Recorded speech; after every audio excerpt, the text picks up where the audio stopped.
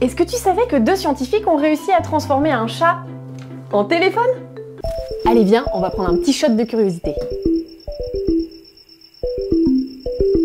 En 1929, le professeur Ernest Glenn Weaver de l'université de Princeton et son assistant de recherche Charles William Bray décident d'étudier de manière approfondie la perception du son par le nerf auditif. Jusque-là, tout va bien, mais attends un peu la suite. Ils envisagent donc de réaliser une expérience sur un être vivant et décident de choisir un chat. Ils ont alors administré une dose de sédatif sur le chat pour l'endormir, mais pour autant il était bien vivant.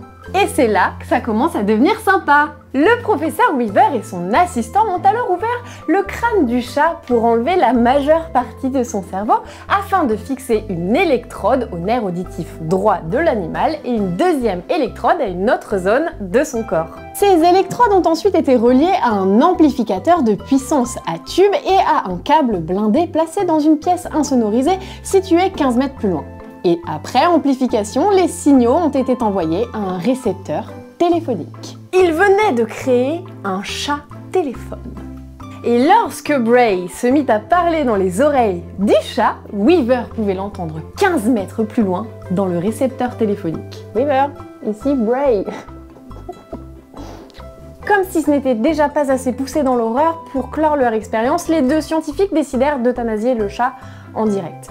Ils entendirent alors dans l'émetteur le son faiblir, puis cesser complètement. Pour nos deux compères, c'était à coup sûr un succès. Ils venaient de prouver qu'ils pouvaient mesurer un ensemble de signaux provenant du nerf auditif. Mais l'histoire ne s'arrête pas là car une série d'expériences menées par d'autres scientifiques en 1932 révéla que les signaux qu'ils avaient trouvés ne provenaient pas directement du nerf auditif, mais de la cochlée. Tu sais, la cochlée, c'est ce petit organe creux en forme d'escargot situé dans l'oreille interne.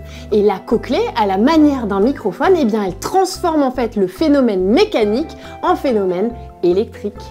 Ces études ont quand même inspiré par la suite la recherche sur l'implant cochléaire qui convertit le son en signaux électriques en stimulant le nerf auditif pour créer un sentiment d'audition chez les personnes sourdes. Le traitement de l'animal pendant l'expérience a été vivement et lourdement critiqué. On peut quand même se demander aujourd'hui quelle est la place de l'animal dans les expériences scientifiques? Car même si cela permet certaines avancées scientifiques, on parle quand même de téléphoner avec un chat.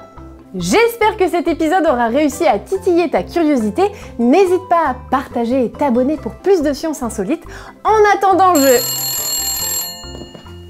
Allô? Allô? Attends, ça chapte pas bien là Allô?